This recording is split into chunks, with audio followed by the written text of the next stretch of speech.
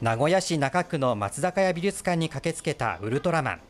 5日からの展示会の開催に花を添えました。会場にはウルトラマンのキャラクタースーツやジオラマなどが展示されていて4日は抽選で選ばれたファンが一足早く世界観を体感していました。